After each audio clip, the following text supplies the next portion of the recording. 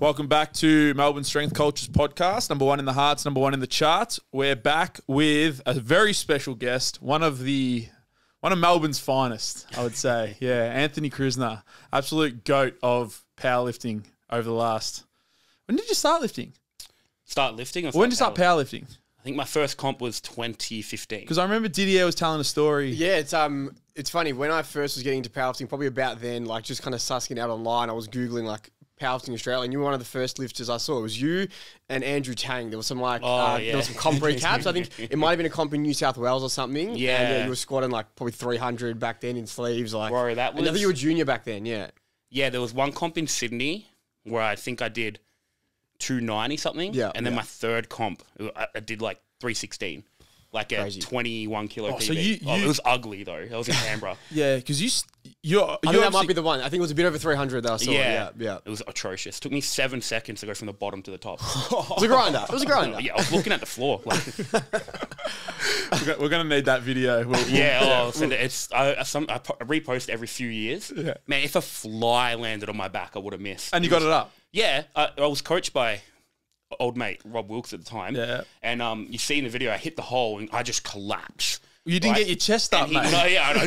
That's like, just, just, just, no. So you see, he just goes like this and walks away, and then he hears the crowd start losing it, and, comes he back. comes back, and he's like, He oh. thought you were done. yeah, everyone did, man. Like Manjot and that was spotting. Yeah, pretty yeah. sure they were thinking, like, do I take this? Like, at what point do we care? Is this guy gonna die? Yeah, Um, Manjot, that's another one. Manjot vomiting. That was Oh. that were the old days of powerlifting Australia. that was the first time I met Nathan Baxter, and Manjot threw up on his shoes, squatting. What what year was that? Did you say Uh, which one? that when, when the the grinder or the vomit? The actually both. I think the grinder would have been tw- uh, 2016. 2016. Because Man, so we wait, were there. I- I'm pretty when- sure we came to that nationals. It was at the Fitness Expo. Uh, it- the was grinder wasn't at the, at Wasn't the it expo, nationals? but no, no, it was just um. So my fourth comp was IPF Worlds. So Yep. I did this one in Canberra to qualify. I think it was around May Yeah. to qualify for IPF Worlds as a junior.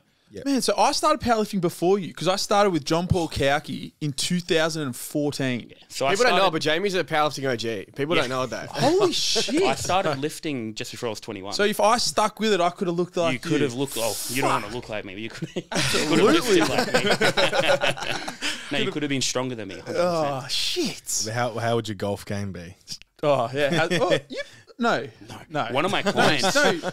Plays golf now. He Someone got really who- into it and he messed his shoulder up. Oh really? yeah. No, someone I didn't expect to play golf messaged me recently. Dan Uh, Uh, nah. Someone. Actually, no. He's reached out to me after the comp. He reached out to me. Um, but no, it wasn't him. Someone completely random. I was like, yeah, sidetrack doesn't matter. That's crazy that you started uh, after. That's that's really cool. And then obviously, so you, you went to Worlds 2000. Yeah. And, Terrible idea. which Worlds was that? Why was it a terrible idea? Killeen, Texas, Oh, yep. 2016. Terrible idea because man, I had done so I'd done my first comp 2015 in England. I lived in England and I'd lived in GBPF. Came here, Lifted in what? the Great Britain Powerlifting Oh, That's the the, the IPF one. yeah, Yeah, it's the IPF affiliate over there. Back when I was an IPF boy, and then came here, competed once in Sydney, once in Canberra, went to Worlds, and as a lot of people and you guys know, I have really bad anxiety now. I actually, it's funny because I was talking to Will Crows about this. I'm the complete opposite now. I don't get anxious about comps. Yep. I sleep fine. I compete really well. That's when I'm kind of the most confident, right? It's like I have a lot of fun with it. But back then, I was sitting there dry reaching for weeks. Oh, Every time Oh, really? I thought about it, like, ugh, ugh, and like couldn't eat. I lost What? What specifically? The the being on the just the- platform? yeah, just being on the and the like, just being scared and lifting in front of people and stuff Yeah. like that. Right, I was just a mess. Um, so I just was not ready for it. I had not developed as a lifter. I had no maturity as a lifter, as, as an athlete. Yeah. Um, back then, athlete, and then uh, It's not like Rob to push people in hard though. right? and then so I went there and I lost like I was a super heavyweight. I lost like five kilos. Yeah. I wasn't eating. I went there like three or four days before. Like it's So pretty it was- rushed. It was hot as Yeah, big like, flight. Couldn't rehydrate. I tore my quad. Oh, Um, really? Yeah, like so I just wasn't ready as a lifter. Like just too much pressure too early in my career. Whereas now to be chill, but as your fourth comp, someone with a lot of anxiety already, and this is something I tell my lifters: like, don't rush it. Like the comps are going to be there, and if, like, you know, I was already pretty strong, I would have qualified for comps in the future anyway. in a couple there was no years. need to rush, but when you're young, you're starting, you want to kind of get your whole career out of the way to start, right? And that's why a lot of people burn out. It's like a lot of the, a lot of the, like we talk about a lot. A lot of the young lifters come in and they're asking, "Oh, what are the records? I want to be in this weight class. What's class." strong for this age? Like those kind of Yeah, questions. like I get, I get, I've got it. Yeah, sometimes I'll get a bit frustrated because I'm like, they're the ones that yeah, they, they come in and they, within three months they're gone. I'm like, man, you you were asking all the wrong questions. Like the right questions would be like, oh, what should my program look like? How many days a week should I train? The training intensity, all those things, consistency over time, and they're just worried about records. Powerlifting is one of the only things, and this is something I tell a lot of my lifters. It's one of the only things where people come in with the idea that from the very get go, before they've even done it, they want to be the best. They be right? competitive, And they're like, what are the best lifting? And you get the messages on Insta all the time. What's good for my age and weight? And you're like, well, what are you lifting? 100 kilos? That's awesome. Like you're doing well, right? Like, um, but they look at the records and go, I need to be the best. And I always ask people, I'm like, what are you the best at in everything else in your life? And they're like, oh, you know, nothing. I'm like, are you the best at your job? Are you the best driver? Are you like think about anything? Like I'm not the best at anything except sleeve lifting in Australia, which is a pretty niche market. but Like, you're fucking good at it. but do you know what I mean though? Like, and, and it's a it's a weird weird thing people get when they start the sport and they're like, well, I want to lift with the best or I want to be the best, and then it kills motivation when they realize pretty quickly It's tough. that there's a lot of work there and. You know, everyone has different points where they're going to slow down. So in my first year, I lifted for less than a year. I deadlifted 300 in comp, right? In uh, on a on a Eleiko bar, I squatted 265, 270, and benched 170 Yep. something like that. It was 122 kilos. Didn't know anything about. It. I was thinking I was doing Sheiko five day on the app back in the day, right? On the Android app. Um, but then that was super quick. But then the journey from like squatting, and then I squatted 316 not long after. The journey from like 316 to 335 as a tested lifter took years Yeah. right? But some people have find that point where they slow down at 160, 200, 220. Um, but then, yeah, there's people that come in with the idea that they want to be the best from the very get go. That's usually when they quit, right? When they hit a little bit of a speed bump. I was just having this conversation with a lifter the other night, and they were talking, you know, they'd slowed down a lot in their progress, and they've been lifting for a long time, and it's to be expected. Um, I was like, you know, people don't forget. So I, I got stuck at a, I I got a 212 bench, and I cut to 120s, and I got stuck at 195, 196 for ages. Like I a- remember this. I remember this. Yeah, my, yeah. My squat went back up. My deadlift, I was PBing. My bench just wouldn't budge. It just had had nothing else in it. Yeah. Then I switched to untested, like a few years ago, uh, two and a half, three years, 2020, I think, and um, my bench skyrocketed. Well, it's flying now. well, it, it's gone up heaps, but it still took me since February last year to put five kilos on my bench wow. in untested. You know what I mean? And it's, untested. it's, it's 240 is a big bench. That's five kilos in a year and a half. It's- And that's a hard fought five kilos. I've hit rep PBs the whole time, done a lot of work. I've benched three days, two days, four days. We've tried everything. Yeah. And sometimes progress is just slow to come. And, oh, and that's the thing that a lot of people probably wouldn't see. Like, someone might be benching 120 and upset that they've only put on five kilos on their bench in a year. But someone at your level, that's just something you have to accept sometimes. And for, that, that's just that's just part of it. Like if, At every if- level. if, at every level, if they were just to give up because they thought five kilos in a year wasn't good, they're never going to allow themselves to see that progress. Whereas same thing, if you had to just stopped benching and just thrown the towel in, well, that, that'd be it. There'd be no more Yeah, progress to be hundred made. percent. Like, Like I have no, like I'm a good bencher at 125. I'm never going to be a great like bencher on the world. Like you know these guys are doing what? Oh, yeah. 300 plus now. There's a few of them doing 300 plus at 125. It's, it's cooked. Like, but I think, at, you know, I want to. I'll be doing. I'm 29, 30 next year. I'll be, I'll be competing for a fair while. You know, unless I have any career-ending injuries, which I hope I don't. Um, but I don't think I'll ever bench over, you know, 250, 260 max. Like, and it's, I'm okay with that. Like, um, doesn't mean I'm gonna. I don't, I'm not lazy with my bench. I love bench work. You know what I mean? It's not that I don't train it hard. It's just is like we all have different limits. I've uh, I've been the, I was the same too. My bench flew. Like I, I remember when we started training, I was benching like It was always ahead. it was always the big one, and like I took my bench from 120 to like 160 like that, real quick, and then I hit 172 three years ago, and it took me over two years to hit a two and a half, a three kilo PR to get to 175 kg. Um, But in that process, squat and dead have they're flown up, and it's just like it happens. But yeah, no, not, uh, people don't really talk about it, do they? They just No, people talk about progress being slow and that, but yeah, they won't give good examples, right? Yeah. no, that's Like, a great example there for you. you Yeah, got, you got sure. two But two I had- examples there. I had one lifter that didn't PB his deadlift for like two years, and then bang, 15 kilos. Yeah. you know, out of nowhere. Like it just, it's not. And this, you hear it all the time, but it's not linear. I think JP Cauchi said it really well. I said Goat. the name right, right? Yeah, the goat. Um, JP made a post. Hey, this is years ago, but he he was like, if I never PB, if you knew you would never PB again, would you still lift and would you still train as hard? I remember this post. And yeah, I, it stuck with me, and I was like, yeah, I would. Like, I, I just love lifting. I love the people I lift with. I love training hard.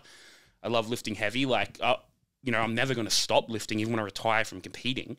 Um, but I think a lot of people wouldn't, right? Or they'd change their training up. They, Well, I remember when he made that post 'cause we had a conversation, and at that time, I was like, "Nah, fuck that." That's literally what. But this is what four years later now, and I've completely done a 180 on it. Com- like, I'm enjoying training more than I ever have before, and I'm not worried about making PRs and stuff. Like the PRs, they still, they still come naturally. You train up, you rock up, do the work, they're going to come. But I'm enjoying just the process of training. so many people so- don't realize that. yeah. Hey, though, like if you enjoy your training, you put in the work, you train hard, you enjoy what you're doing. That's that's how you get the results, Yeah. right? If you stress so much about things, or you know, how many people do you know that like don't have a good bench, so they're just cruise through their bench training? Don't Yeah, or they, hard? they they tell themselves, "I'm yeah, I'm never going to be good," or like, I, I, "I've got long arms, I, I'll Yeah. never I'll never get it," and then they just put in fifty percent effort, and then they get fifty percent outcomes. They don't. They actually will never have an opportunity to pr- progress. We interrupt this program for a word from our sponsors, which is Get Going. Get Going is a national health and fitness company. They link personal trainers up with a whole battery of clients around the nation, and they are looking for more PTs. The beautiful thing about working with Get Going is they have an entire sales and marketing team behind them that will guarantee you leads at your door. So if you're a young personal trainer looking to get into the business, quite often with trying to get started in these commercial gyms. I know a lot of us here had opp- opportunities at commercial gyms. It just never really worked out for us. Uh, quite often you get forgotten about there and you're sort of on your own to, to find leads and, and, and to, to challenge the marketing and sales by yourself. That's the, the best thing that Get Going has for you. You don't have to worry about any of the business side of things. You can just work and, and work on your craft and, and get clients the results that they're after. So, if you're interested and you are a young PT looking to get started in the field, you can go through www.getgoingpt.com.au forward slash careers, or you can go through the link in the description box on YouTube or the bio of the podcast link here. Tell them we sent you and change some lives for the better in the industry. Thank you.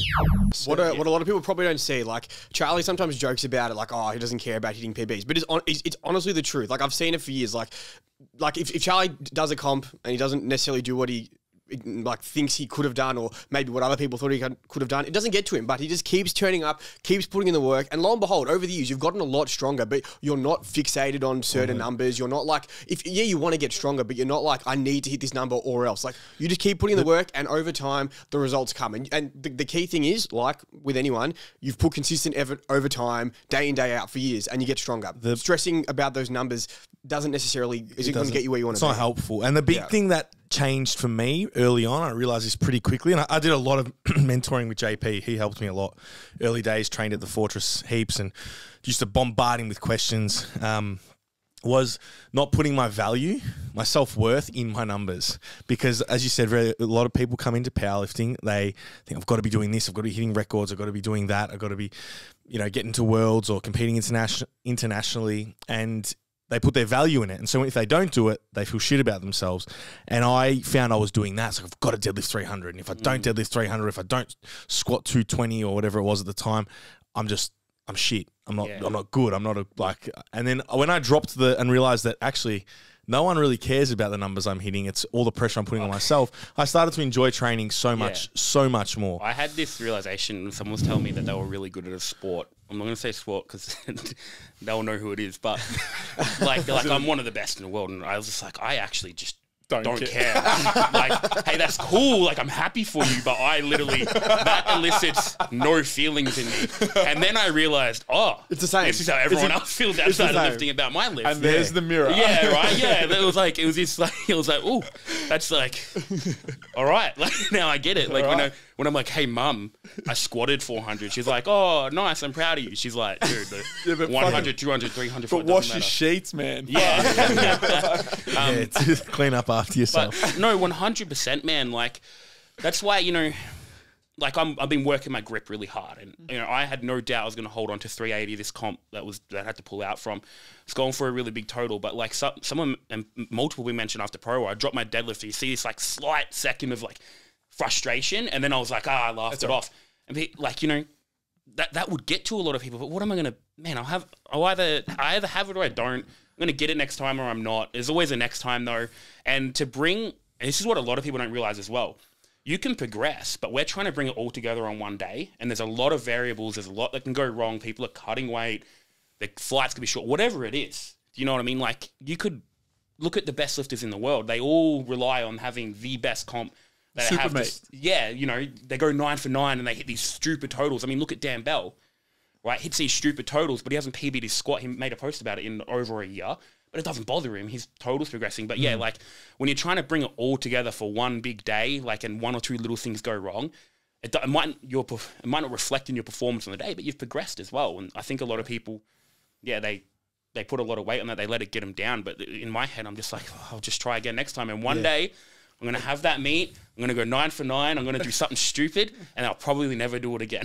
Like, do you know what I mean? 100%. I, I definitely take the more stoic approach with lifting. It's like control what you can control, and the things you can't control, like don't worry worry about it. But like with um, I always look at it with with missed lifts. It's like you, there was two things that went wrong. You either technically stuffed it up, or you just weren't strong enough. So if you weren't strong enough, you can't really control that on the day. Yeah. What you can control is go back to training, put in a few good cycles of hard training, whatever it may be, get on top of your nutrition. That's going to help you get stronger and then get it next time. If it was a technical thing, obviously then we use variations and stuff to help work on that that that technical mishap that happened on the day. But like trying to just f- fixate, yeah, fixate on the things you can control and, and move away from those things that you can't and, control. And, and then it, it sometimes leads to like trying to find. And this isn't necessarily at a competition. Even in the gym, like a, a lifter will a lift will be harder than they wanted, or something will break down technically, and they're just trying to find what their reason was. And sometimes the, the sad answer is you just weren't strong enough, or you just didn't execute. And not everyone wants that because they want a very clear answer. If I do this variation, if I Yeah. have this cue, it's going to fix it. But sometimes you need to accept. It just it just wasn't there that day, and we just need to come back and, and try again. Like, like I've got pretty bad ADHD, but it's almost like with lifting. You know, I mean, I stuck with it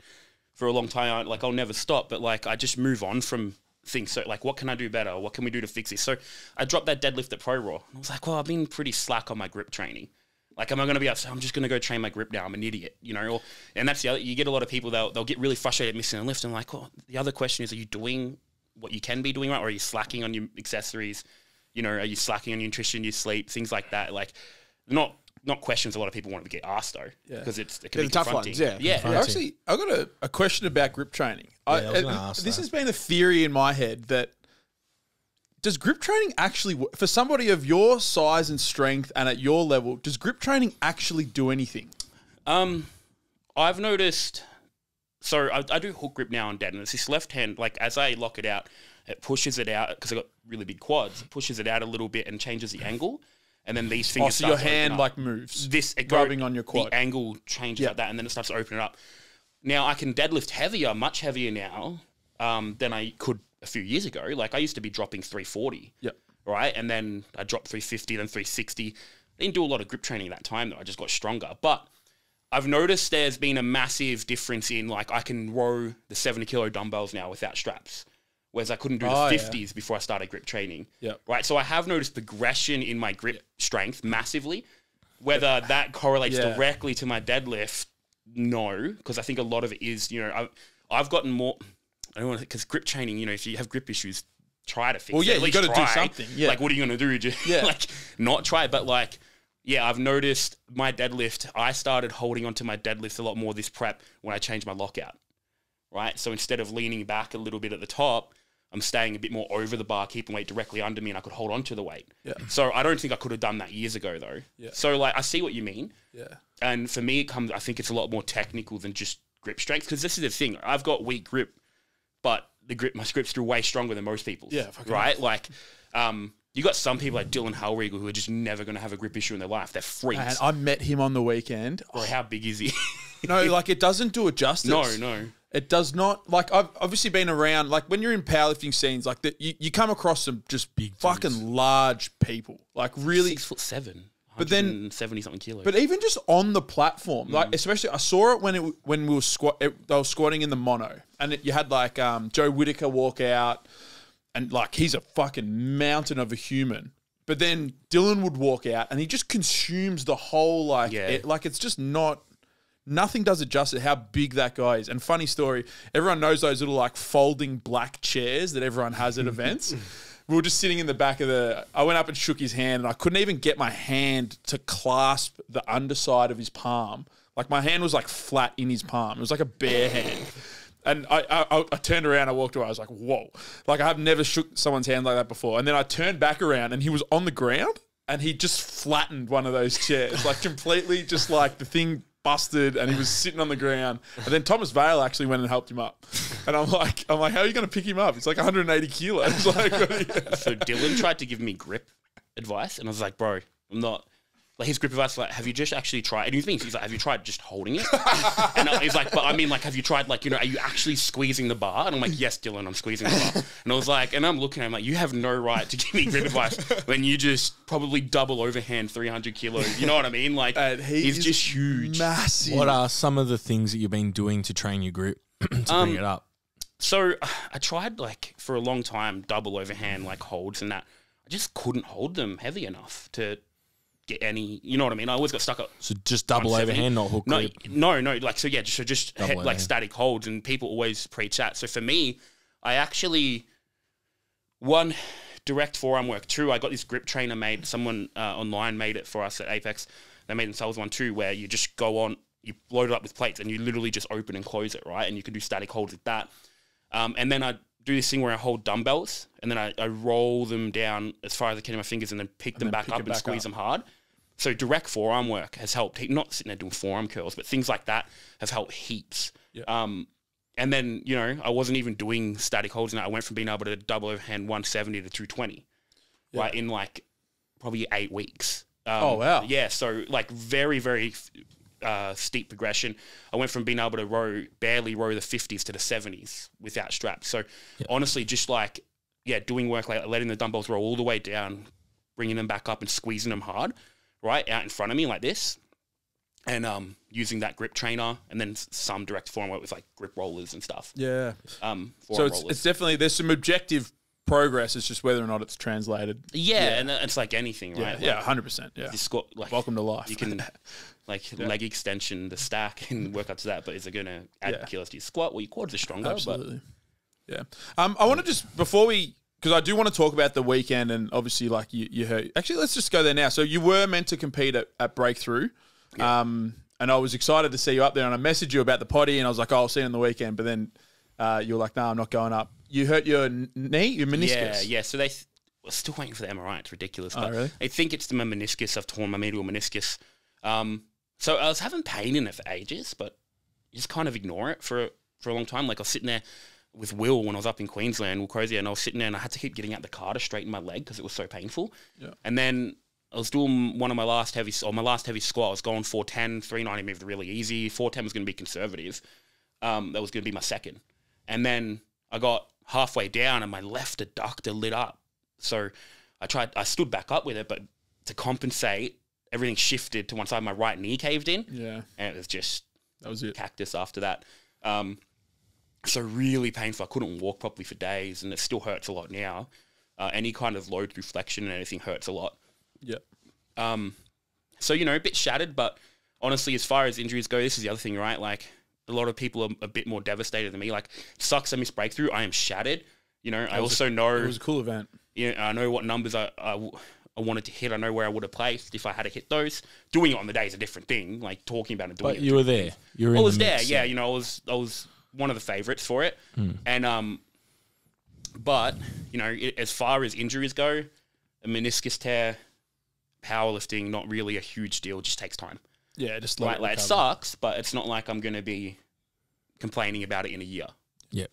Yeah, absolutely. Um, it was a, it was a really cool event. I, th- I'm actually really excited, and I'd love to get your take on this because I know, obviously, just talking in this conversation, gone through. I didn't even know you competed overseas, but um, not worlds in Great Britain uh, originally, but like the feds and all of that sort of stuff. I think coming out of lockdowns, uh, that and obviously like the PA thing, and then now USAPL coming across, APL doing really well, um, and then seeing this event on the weekend, like powerlifting's in a really fucking exciting spot. Like it really is, and I think there's going to be a lot of opportunities for these sort of events, uh, especially here in Australia, which is, is really cool. And Breakthrough put on a, a, you- a great event. I was going to ask, do you want to give to people listening, like, because the weekend was there was untested, there was tested. Do you want to give them a breakdown of how it ran, what federations it were? Yeah, absolutely. So, Breakthrough, yeah. uh, breakthrough. So we're up in Sydney, and Anthony was meant to compete on the Sunday, which was a WRPF event. Um, uh, through yeah break breakthrough which was the gym and breakthrough put this thing on um, and then on the saturday was a usapl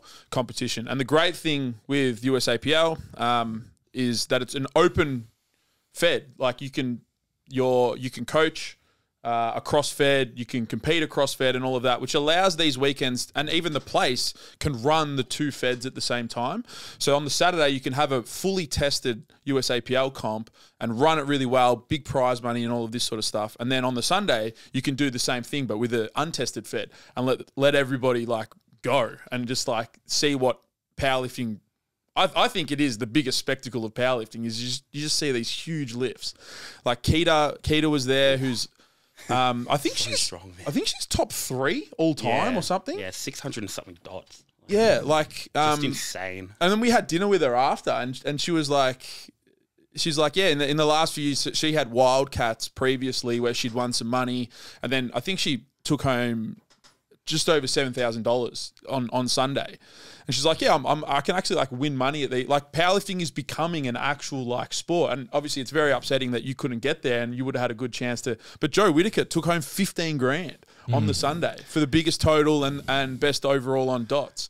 Yeah, I like think Deuce was crunching the numbers, and she's like, "I would have won if she went up there and hit her total. She she could have won like fifteen hundred or seventeen hundred bucks." yeah, like it's she's like, "I'm going to go next year," and I was like, "Yeah, Like it's no." cool. Powerlifting's in a great spot. What are what are your thoughts on all these different like obviously coming out of lockdowns and then the big thing is what is happening with the IPF and the and at the moment and the bench press rule and all that sort of stuff, which we can get into as well. But like what what are you, what's your because a lot of people have different takes on different feds, diluting, all this sort of shit. But what's your view on it all? I think it sucks that it, it, it has been so fragmented in Oz at least. Um, but I think people are voting with their wallets, right? And and that's what really matters. So you know, it sucks when the talent pool is spread out a lot, but there's not many feds left that do the you can only compete here kind of thing. So that that fixes that issue. Um, like yeah, it sucked for like my lifters, right? They're going to nationals and they're getting easy wins when they know what level they're lifting at. But it, it is getting better, right? So easy wins with which fed. Um, Eight. so like you know, yeah, they Well, all of them. AP yeah, all of them, but they go to it's spread APU, out. say It's spread APU out. nationals, right?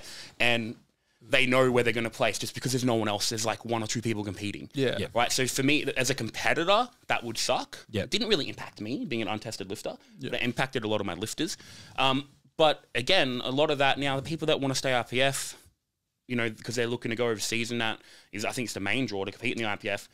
They've got their goals set on worlds and Commonwealths and stuff. But I think, yeah, like, you know, we've noticed, I noticed huge uptake in USAPL. You guys probably know the numbers. And APL as well. We sold out this comp so quick for APL, the one coming up next week at, at Apex. So I think people, what I've noticed for my lifters, they're over the, they're over any kind of drama. Like a lot of them just want to be coached by me now on the day, which they always did. But the draw of IPF from that was always there. Was now they're like, I just want to lift with my friends and have you to coach me and have fun.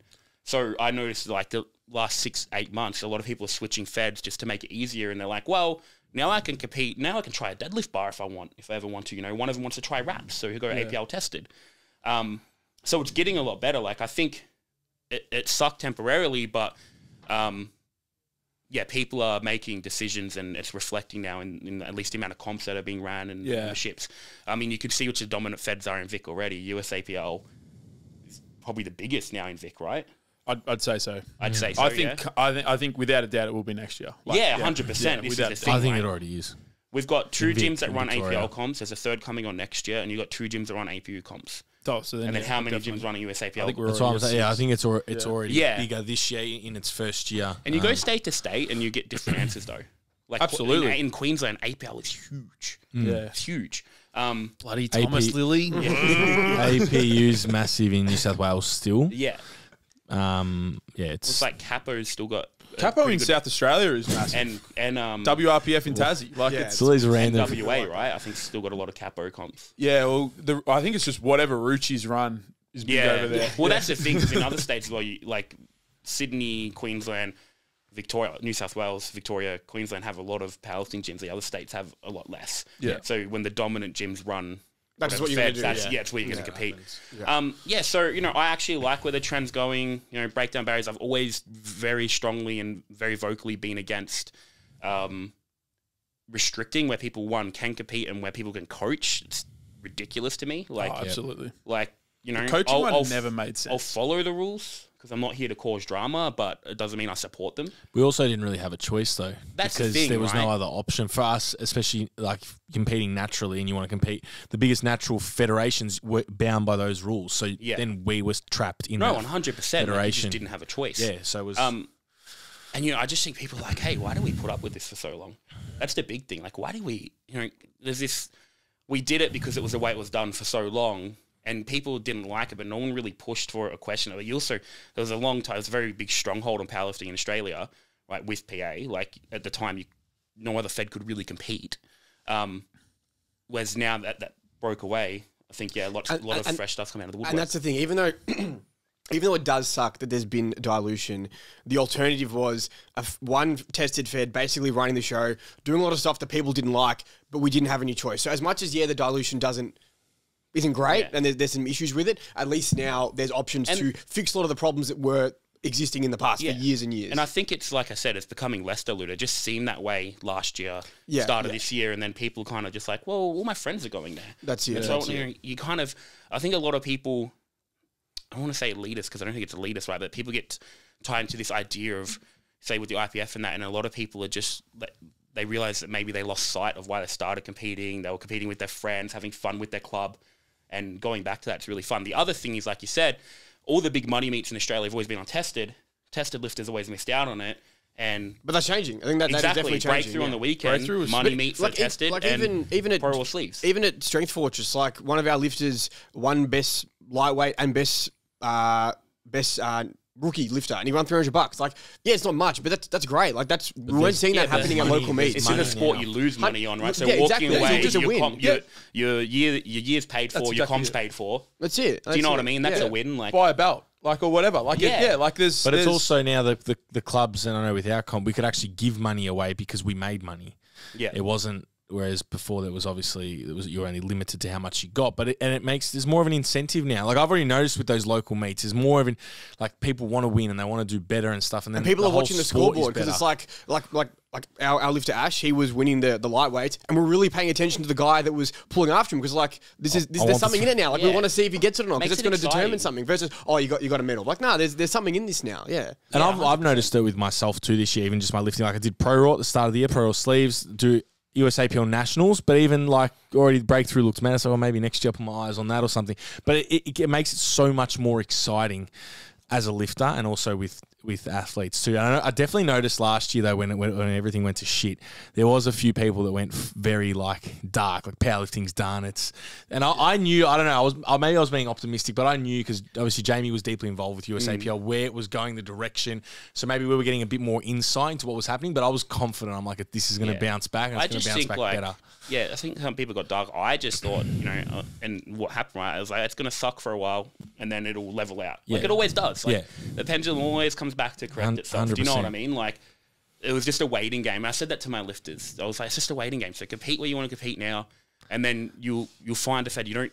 You could compete somewhere this year. You don't need to compete there next year. That's the thing. Do you know what I mean? Like you can pull out, like you can change your mind. This is the great thing, right? Like, so compete wherever you want, have fun. so I've had a lot of lifters switch to APL too because they just like, oh, well, the comps at Apex, they want to compete with all their friends and it's fun. You know what I mean? Like, and then they had nationals, they got tested worlds and that. Like, it was just an easy route for them to have fun with their friends and enjoy training, try something new with a deadlift bar and stuff. Yeah. Um, and then next year, I know of several of them that are switching to USAPL. Yep. Right, you know, because they've paid their yearly membership, they'll run that out, and then they'll go to another Fed. Absolutely. Like, And then uh, I was just going to say, you were saying like just write it out, and we'll, but where do we go? We go back to the start of the conversation where it's just just enjoy training, Yeah. keep rocking up, Have fun. and the comps will come, and, I you- hope your like, deadlift holds. That's, no, but it, it comes back to just enjoy training in the process. Like, don't get caught in the wishy washy of the federations It's and not what's. like, that's you know for me that was the biggest thing taking when I switched to untested taking a step back from PA at the time was just I was like I'm just a lifter and a coach I'm not getting Yeah. involved in any drama any politics and I've stayed out of politics since Yeah. and I, it's been so good do you know what I mean just being a lifter and a coach and just running events and like you know um, not being involved in the political, yeah, in I, I know. ex- the- you know I know I mean? exactly Like, what you mean. Yeah, it's refreshing and almost uh, reignited a fire in me for running It's actually and stuff uh, And again, John Paul Cauchi, but a conversation I had with him, he was like, I don't want to be involved. He's like, all I, he was exactly that. He's like, all I want to do is run my gym, be a coach, be a lifter. Because everyone was sort of expecting that he was going to put his hand up to be like to like lead the people, sort of thing. And he was like, I don't want to do it. It- It's not something I want to do. I think that Yeah. that's pretty unfair because a lot of people are like, what's JP going to say? Yeah, It's like, exactly. he doesn't need to say anything. and he man. didn't want to. He just didn't want to do it. Yeah, which is completely fair. Absolutely. Um, I, I, I I'm to shift gears here from the from the feds and all that sort of stuff. I've just got a few uh, stories that I'd like you to uh, unpack a little bit. Number one is I remember in the middle of lockdowns, and you said that you switched to untested about 2020, so the start of Yeah. lockdowns. Yes. Oh, yeah, just before. And I remember everyone was training in the at home in the garage, and we've ta- talked about this a few times. Like we just called it like the de- oh. depression stations. Like they were just like they were just in the garage by yourself. But I remember one video where you, I think you scored a 400 for the first time by yourself. No, so I, oh man, it was such a funny thing, right? I thought you could have people out over outdoors at that point. Yeah. So I had two people come over to spot me. And then JP messaged me and he's like, hey man, I don't think it's cool that you're flouting social media. I was like, oh dude, I just didn't know the rules. I went, I won't do it. And I didn't do it again. I was Did like, anyone know the rules? yeah, I was like, I didn't know, and he's like, oh, all right, that's fair. It's pretty confusing, right? But um, no, so I did a lot of sh- a lot of stupid lifts at home in my own garage. Um, but the 400 kilos. All right, so I just I hadn't been in wraps for a long time, and I had those. This is a cook story, right? So this nail on my finger doesn't grow now. So it Doesn't grow. no. So that, that that day, I un- I had the mono attachments that swing out. The little, cage. uh, yeah, yeah. They're terrible, but I also I think they're only rate loaded to like 200 kilos. oh as well. man, like I think my my I have this crappy little um Your cage- cage. your cage it- is like- it's bent now. It's like it's like one. That, yeah, it would It's be. It's one, you know the orange fucking place up the road, that World Fitness or whatever. They Yeah. and they just sell like there's brands that stand out as like they're really good, high quality, Yeah, commercial nah, I've got a level. no name. Yeah, and then there's like this Chinese level shit that places sell, and it just like things bend, nothing. Yeah, It's, it's warped. My missus still squats on it. Yeah, Um, so and you're squatting 400 kilos. out. yeah, shouldn't have because there's no. so anyway, I unrack it, but my hands are right where the mono attachments are. So I unrack 75 kilos, first warm up, go down, come up, my finger goes straight into the mono attachment, and I was squatting hard, um, like on the way up. So I ra- I'm like, fuck. I wrap it, I rack it, and my fingers just exploded as mincemeat. Like it's, it's like legitimately. You can see completely inside, and I was like, "Oh, I'm, there's blood everywhere, just pissing out blood." So this is your warm up set. This is my first warm up set. Oh my god. And I was like shaking and shit. I was like, oh, what do I do? And Ben was like, Ben Mack was like, do you want the, Another king. Do you absolute legend? He's like, do you want the meathead answer or the coach answer? I was like, what's the coach answer? He's like, dude, that looks really bad. You should go to the hospital. I was like, what's the meathead answer? He's like, Wrap it up. He's like, we're already here, man. Let's do 400. I was like, all right, fuck it. So I walk inside. My missus is like, what's going on? And I'm like, oh, like, she looks at my finger. She's like, I can't. She walks away. So we just get some alcohol swabs, alcohol, like, wipes, Yeah. put them around it, and then tape it up so with the much. Chux. Yeah, it hurt a lot. But then we taped up with the Chux. So if you look at the video, and then I warmed up, man. And the, the issue is I had a, a massive adrenaline dump after this. Yeah. So, like, No I was, doubt. Yeah, And so I probably was like blood feeling pressure flat drop. as, right? Pain. But I did a 380 double, which was a huge PB, and then went up and did a 400 single. And um, but you see in the video, I'm holding the bar like this because his fingers all taped up, and there's this big blue Chux. Anyway, we do the squat. They go home, and I'm like, you know, I don't think it's that bad. It's like I don't think it's that bad. So I look at it. I'm like, I'm like, oh, it looks pretty bad, but but like it's just like slamming in the car door, right? So my I was just gonna go to bed. Yeah. I felt terrible. And my missus was like, go to the chemist because she knows I wasn't going to go to hospital. She's like, go to the chemist and get a proper bandage. So I go to the chemist, show the chemist, and I go to the chemist all the time now for all my like ADHD meds and asthma meds. And they love me there, and they're the best people. But they just remember this one day. I walk in with this exploded finger, the bone exposed. Yeah. I'm like, can I get a bandage for this? and she was like, you need to go to the hospital. I was like, I can't really be bothered. She's like, go to the doctor across the road. I go in, this doctor is a good doctor I see now. He loves me too. Because I go in there and I'm like, can you stitch it up? And he's like, he just laughed at me. He's like, stitch up what? he's like, it's, it's like exploded, man. Like, it's the- this is the bone. And then he's like, you see this? And he's poking it. He's like, do you feel that? I was like, no. He's like, yeah, go to the hospital. so anyway, I got um, plastic surgery like 12 hours later. So they reconstructed. They did, did an awesome job. I can't even tell. Yeah, you can't tell. I just can't feel anything in, in the finger at the top. Yeah, you and really- like the nail doesn't grow. You really crack. Yeah, Yeah, hell. so that's my first 400 squat. that was your first 400 That was squat. fir- I was sitting. Oh, it was so because I've got a really high pain tolerance. yeah. So I was sitting there and I go and it's all bandaged up. The doctor bandaged it up for me, and I go to the emergency room and they're like, "What's happened?" I was like, "Oh, I hurt my finger squatting. You know, got it caught." And they're like, "Oh, okay, you in pain?" I was like, "Oh, not really." So I sat in the waiting room for seven hours. You've got to say you're in pain, otherwise they're, I they're know, to put you right? at the bottom of the I- list. I, was just, I was, I was sitting there playing my Nintendo Switch. Sat in the waiting room, and I'm like, this is ridiculous, waiting so long. I should just go home. And then they get me in. The doctor does an X-ray. He comes out. He's like, dude. He's like, we messed up. He's like, you need IV antibiotics. Oh, wow. He's like, the bone's exposed and broken. He's like, you know, you get an infection, you probably lose your finger. And then they schedule me in for surgery like ten hours later. Oh, 12 wow. hours later. Jeez. So you got I've, I, I, you had to say it hurt. You needed to You say need it to say it hurts a lot, but at the Bones same exposed, say it hurt. Same thing though. There was a chick that came in when I was there screaming in agony, and they made her wait for like 15 minutes. yeah. Yeah, I mean, 15 minutes better than seven hours. Yeah. I've, um, I'm going to throw Charlie completely under the bus here. What? Because you know when you walked in today and you were like, oh, fuck, I forgot my shorts. and you're like, oh, man, I've got to squat. I forgot my shorts. Yeah, but I, I also, I also, I also did follow up with I'm just going to squat in shorts. Yeah, but Ah, then- squat in pants. But then you're like, first world problems. I got to squat in my tracksuit yeah, the pants. first world problem was like a first world, like it's a first world problem. What am I complaining about? to be fair, I'd probably prefer to do that again than squat in pants. like really, like, but for me, it's a discomfort. Well, I'm going to getting squat in sweaty. pants today. Yeah, Did- man, did he that's wants, tough. That's he wants tough. me to go to Savers and buy Across the road, shorts, yeah, just buy some secondhand shorts. but I'm going to squat in pants. Now, that now that you've said I've got to do it. That's I'm gonna tough, squat in man. pants. Goggins You'll be here. You'll be here. To Yeah, to- Goggins. what would Goggins do? Go, you'll, Start selling tickets to meet you. Like, you'll be here, so you can watch me squat in pants. so I'm just gonna do incline bench and stuff. It's gonna be good. I'm gonna be impressed. Um, squatting, squatting tra- These are warm too. I've got um, I've got uh, an, another thing that I would like, I would love to to learn a little bit more from. Um, so obviously you, you said you came into powerlifting pretty strong. Oh yeah. Yeah, like you.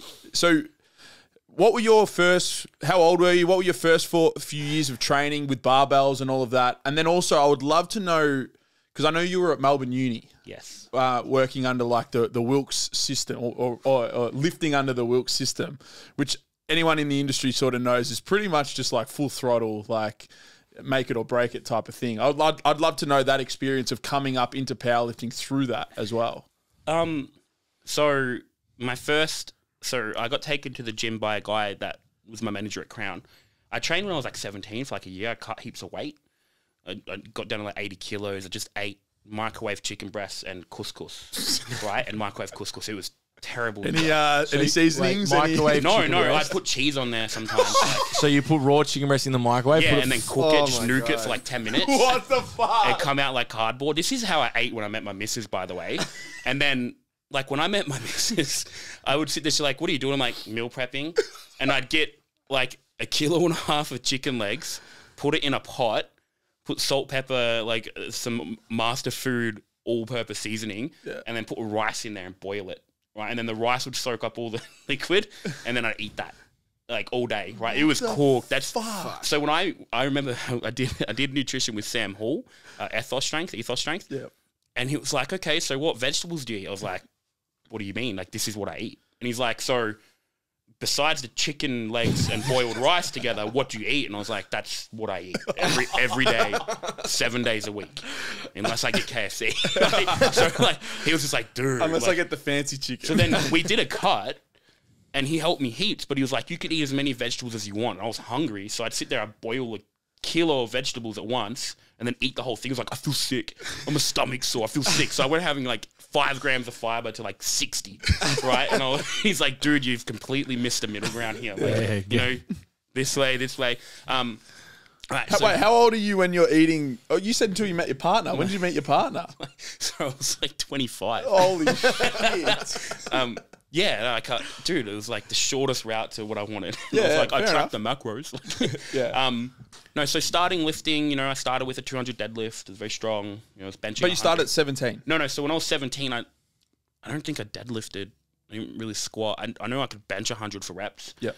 At 17 80 kilos, 81 kilos. Um, but I go do like an hour of cardio every morning, then go.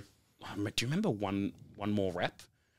Um, the pre workout with the DMA in it. It's like 17 cracked out of my mind on that stuff. Everyone has a story. I don't. Sorry, a lot of info, but I don't know if you know what stim dick is. Stimnick, A steam dick. Yeah, yeah Steam steam dick. Right, No. so you like take DMA and dick some doesn't people, work. Yeah, your dick doesn't work. like whiskey dick. Yeah. Yeah, right, but way worse. So I was 17, be walking around with like mad stim dick, and I just couldn't. I'd be like, yeah, but it makes me feel really good at the gym, so you know, deal with it. like, um, let's like, yeah. So anyway, I stopped training because I started working. Then I started again at 20, just before I was tw- uh, 20 and a half, and I, I did a 200 deadlift, bench like 100, and I was squatting 180, and then I went in. I went in and missed 200 for two weeks until I got it on the third week. Yeah. And then um, I moved to England. It's called peaking. That's yeah, Well that's it, right? Just go in and max out every week. That's what I did for a little bit, and then I went to England and I signed up at a gym there that was just like a commercial gym but independently owned. Uh, and I met this guy Ross, and he was an IPF lifter, and he was like, uh, "You need to follow some kind of program." So I went on Reddit research, and I was like, "Sheiko's it. That's me." Yeah. So I did Chico for like until I went to Melbourne Uni for like a year and a half. Then Yeah.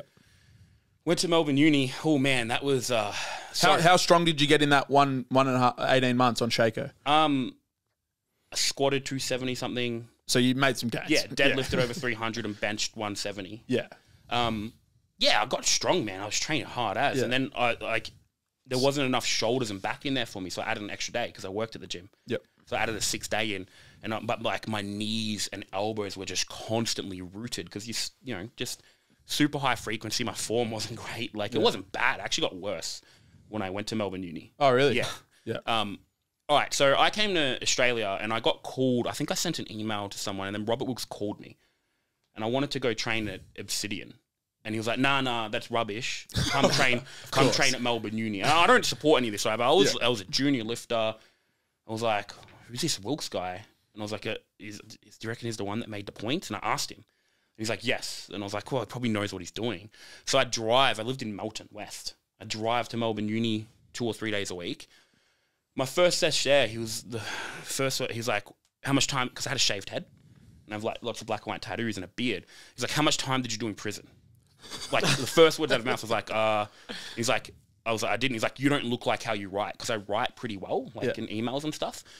And I was like, "Oh, all right." And he's like, "So you didn't go to prison?" I was like, "No, dude." Like, so then he's like, "All right, you're fat. Let's see what you can do." And I was like, "Oh, all right." And um, a lot of body image issues and that. And I was like, so I went through my session. He had me like max out for my five rep max on everything. And he's like, "You're useless, but there's something there. Come back on Thursday." And for God knows what reason, You came back. I came back. And then it was kind of this, uh, you know, looking back at it though, man, it wasn't a good. Uh, uh, it's a lot better now, so I've heard. 'cause Obviously, they've got rid of that. Yeah. Um, but man, it was a horrible, horrible environment. That's why I left. Yeah. So I told, but I, I felt like I, I felt trapped, right? Because you got the head of a Fed that isn't above abusing that power, does it fairly frequently, and I couldn't get out of it. So I'd, I'd show up, I'd do my training, and you know what? Yeah, I was I was close with him at the time, but it was this weird kind of like you want the approval, mm. right? And you're young, you're impressionable, mm. you anyway. So like it, it's not a fond memory at all. Like I made good mates like Tony Reinmuth and that, but it was a very toxic environment. People like I remember one day I, I've always had really bad body image issues, and I got up the courage to train in a singlet. And someone came up and like, "Oh man, you don't have any muscle development at all. Like I thought you'd at least have some kind of delts, but you look like shit." What? And I was like, and this is just a member. I was like, oh, and I went and changed, put a shirt on, right? And that was just accepted. That was so it was really toxic, very, you know, only the strong survive, but like we're just gonna beat you down and offend you. And this is when I was training. um, and Rob was the same. It all comes down from the top, right? Because it's allowed. Like that would not fly in my gym. No, no and I imagine way. it would not fly here or in most gyms. Um, so I tore my quad at 2016 Worlds, and I was like, "Oh, I'm just gonna rehab this, and then I'll come back." And then I just stopped answering the messages and calls, and then I, I, I went to uh, Janusz. Uh, he helped Oh, me yeah. with my training, and he helped me out. He's like, "We're gonna actually," because he went through the same thing. He's like, "We're actually gonna train smart and make you a better lifter." Yeah. And I progressed really well with him. But um, yeah, so like you know, it was interesting. You look back at it, you can have a laugh, but you're like, man, that wasn't a good environment Yeah, not at all. um, you know, again, just even this the idea that you could just openly comment on someone's body, I don't know, like literally walked across the gym, hadn't talked to this person for the day, and then came up and said something like that. Yeah. Um, Yeah, that's actually crazy when you think about it. yeah, that's so. A lot of this is like, you know, so when all this stuff happened, PA though, I sat back and people were like, oh, you know, how could we know this had happened? And I was like, we let a lot of shit fly, and a lot of the justification was that's just what they're like. Do you know what I mean? And like in hindsight, I was like, man, now that I know what I know, years later, I'm like, I would not let that fly anymore. I would call it out. I, you know what I mean? Yeah, stop it. Yeah, like e- even if it's at the top, like you got to stand up for your lifters and yourself, right? Not you don't need that doesn't mean be aggressive. Just means you know again you can vote with your wallet. You can bring it up, Boundaries, yeah. Make yeah have boundaries. Um, yeah. So it was it was interesting, uh, and it's interesting looking back at it. Yeah. I had some fun there. though. I had some good mates there, but like in in general, like the overall, it wasn't a Oh, absolutely. Sounds Yeah. like a yeah a, a poor time without a doubt. Yeah, especially when you're young and impressionable, and you're Yeah. trying to like make a name in sport. You're trying to, I, I don't know. You have this idea that you need to impress the right people. Yeah. Again, because you're young though, as well. That's the other thing. Like, when you get older, you're like, man. So, say if we had a disagreement, like that's all it needs to be. Do you know what I mean? Yeah, yeah, When you're younger, no- you're like, oh, like this is my whole world, and everyone I know, all my friends are in powerlifting, and if I say anything or I leave, like it's going to come crashing down, and that's kind of how it was for a fair while. Um, you know, and I think that look, that still happens, I, I guess, on a small scale at gyms now. Like I, I imagine, like I don't know anyone personally.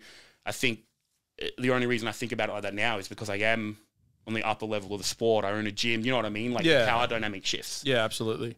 And you can you can create the environment that you want within your own. Yeah. Yeah. It, it, it, it is. It, it- And also, if someone came up and just talked to me like shit now, I, I'd just be like, "What are you doing?" yeah. Do you know what I Or you mean? just walk away, But like- when you're 22 That's and the you're thing. The sad thing is now you're in a position where you'd be like, that just doesn't fly. But there's Yeah. probably you know whether it's in powerlifting or I- o- other areas, there's people who who are just like you back then who just let it slip and feel like they have to. This is just the normal thing. Like Yeah, right. Like it's just accepted. I had this chick at, at Coles that works at Coles make a really racist joke to me like last year, and then she started laughing, and I was like, "Yeah, that's not funny. We're not going to do that." And now she just won't look at me when I go there. But you know, that's the shift. I'm just quickly interrupting this podcast because Anthony, unfortunately, is too jacked and too juicy, and he moved his arm and he swung his elbow into his microphone input, and it meant that we got about 15 minutes of very crackly audio. So we actually had to cut out about 12 minutes. Um, you will hear some crackling across the next 90 seconds. If you can't put up with it, you can just skip across 90 seconds and you'll be able to continue with the final little piece of this podcast.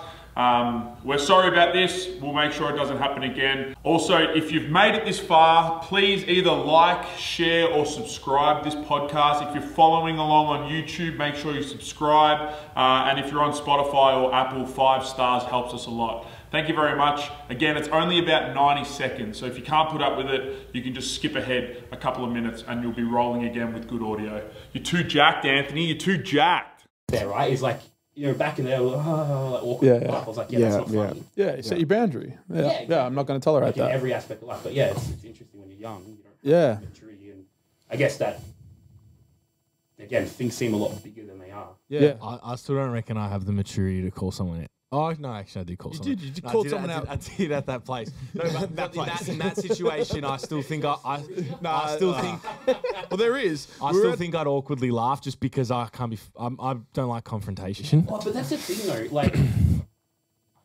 like I always like confrontation and aggression are like two different things, right? So I'm, ne- I'm not an aggressive person. Yeah.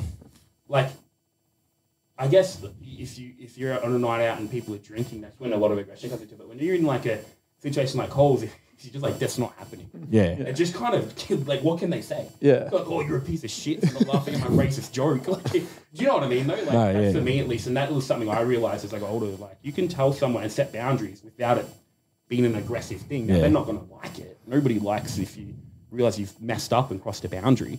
But and then for me at least, like you know, so even uh, like with clients, if I have to set a boundary and then I just let it go, I'm like, hey, you know, you know, I or if they, vice versa, we know now, and then we just move on. Yeah, Coke, Coke Zero, man. There's nothing better for me personally than like having fast food with a soft drink. Oh yeah, A beer doesn't, alcohol doesn't. I don't know. If, Doesn't cut it. You need the acid. You need the acidic Yeah, it doesn't know. Like I like, yeah. I do enjoy having a, a couple beers or whatever, and I could sit down and have a, like every so often have a few drinks and whatnot. But when I'm eating, it's got to be a soft drink. And Yeah. it just cuts through the Yeah, like oh, an ice it's the cold Coke best. Zero. Oh, it's the best. Ooh. Yeah. It's actually an overrated uh, Bit small of KFC, pleasure. wicked wings, yeah, yeah. oh, I can't best. eat KFC anymore. Oh no! no, I blame KFC for so. I got sent these two. I got sent order twice, like last year.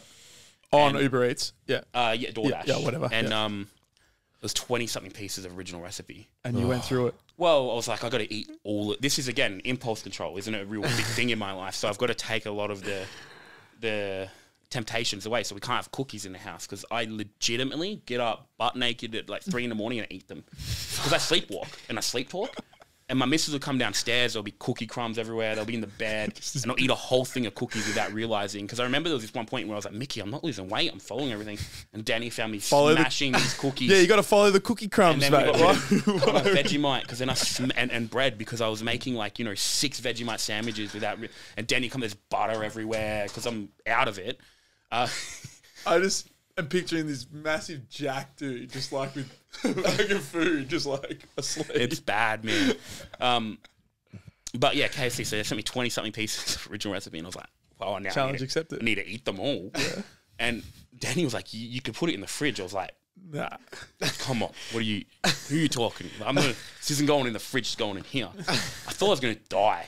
Oh, really? I, I mean, my heart rate was like 130 because of all the salt and shit. So I was sitting there and I was sweating. I was drenched. I had to take my shirt off afterwards. I was like, oh, I can't. No, never again. So I- like, so I'm sitting there It like, wrecked KFC for you. Wrecked KFC for me. I'm scared of it now. But I'm like, because again, it was Yeah, purely my fault. Yeah, I'm not. too delicious. Um, I'm not scared. You got to try Yeah. Charlie, 20 pieces. Charlie Right. Goggins. Enter Dude. Goggins All this talk of KFC is making me want Eat, that, KFC. eat those wicked wings, Charles. twenty something original recipe and like two large chips and then whatever like with That's a lot of salt. That's a shit ton of salt. Sorry, I'm like, what's the fatal amount of sodium?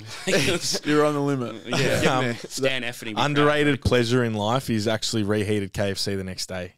Oh, really? So good in the in the Pretty microwave. messed up, man. Yeah. I love it. should try, Love- try I it in think, a, that- I think that's uh, Try should- try it in a pot with uh, rice, rice and water, and just let it yeah, go. yeah, exactly. You, can't, you got no right talking about messed up. Yeah, You're throwing fucking- no, I've evolved. You're But man, cement man for over here. I know. I remember because my, my Danny was like, "Do you want me to do your meal prep for you?" I was like, "Sure, but it's really easy." She's like, "No, no, I'll make you proper food." And then she ruined food? it for Yeah. me. Like I couldn't not ruin it, but now I expect my food to taste good. Like, Yeah. That that's yeah. The, the taste because that sounds miserable. bro, That it is just, miserable. It was fucked, but it was easy. It was cheap. You know, it'd all go down together because the. Ugh. That's too good. Um, we'll wrap it up there because we're going to go train. And obviously, you came from the other side of it. What are you? What are you actually hitting today? What's your session like? So I've got incline bench, uh, pec deck or cable flies, Yep. and then some tries Some arms. and delts and something Yeah. else. I don't What know, are you hitting on the incline? on dips. I don't know. So this is the first time I'm doing it in ages. It's eight at about an RPE eight. Yep. So anywhere from like I haven't done it for ages. So anywhere from like one thirty to one sixty, I guess. Cool. Like Nice. We're actually going to get a little bit of. Con- I think. di- I don't know if you're. I think you're training as well. If, if you can get the shorts. Do you like dips? Do you like dips? Chest dips. dips. Oh, Like I dips. love dips, man. Yeah, because I haven't done them for years, and I've got a few clients that have been asking for them lately.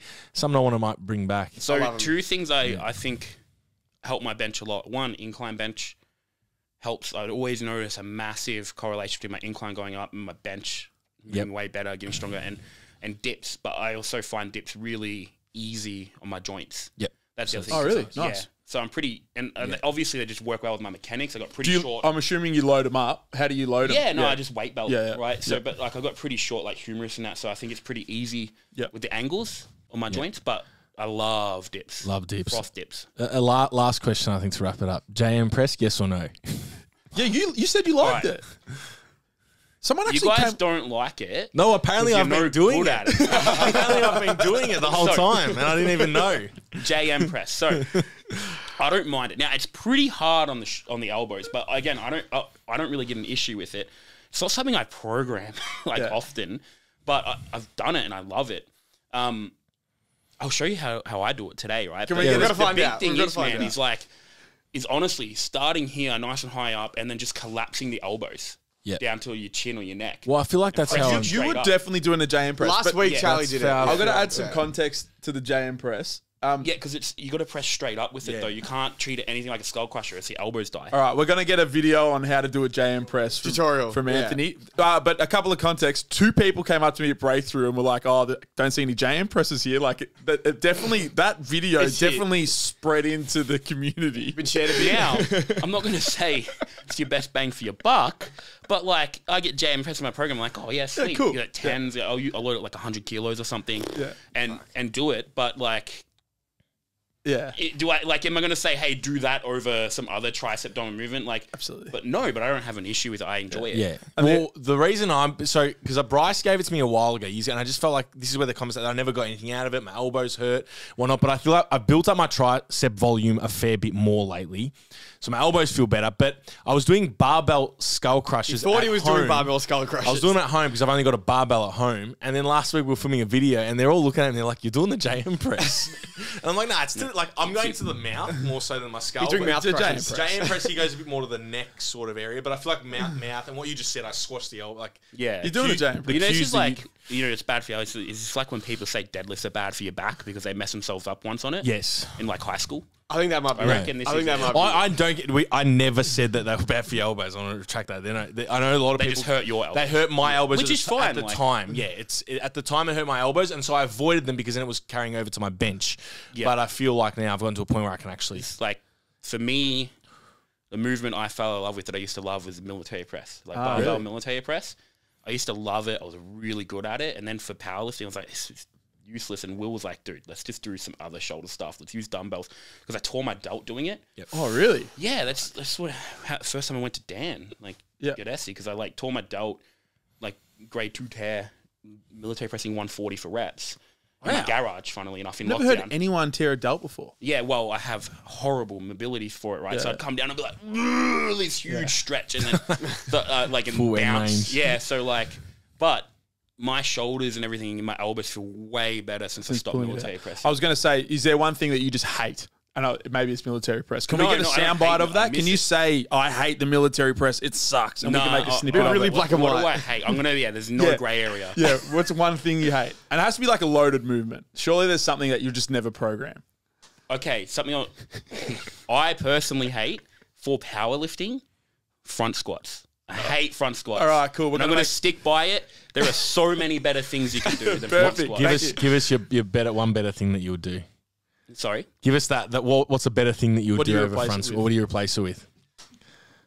Any other kind of Yeah. like you know Because ours is a safety Loaded- safety squat yeah, bar. well, we just we go SSB. I mean, yeah, they're- like I love SSB, but I don't know, man. Like I love programming machines and that for Yeah. quad dominant Fucking like oath. movements, like hack Yeah. squats and shit. Yeah. Um. Yeah. All right. Just swap it with SSB. I don't care. Swap it with anything else. High bar. no, no. Like That's what anything. So, so you would prefer for a quad dominant get on a hack squat or and just pound the shit Yeah, out or of it. again, like you know, if you're closer to comp in that though, like SSB, like I love, I have a really good SSB. How too. dare you? No, I'm But sorry. 'Cause hey, man, that's I'm, what- I'm standing by cop. it. You hate That's on what we JM press. cop. When we cop the JM press, it was I'll like, how in the dare camera you? and say it. Yeah, can you look at the camera and this is going to be the sign off and just say, if you do front squats, you're doing it wrong or something like that. If you do front squats, you're an idiot.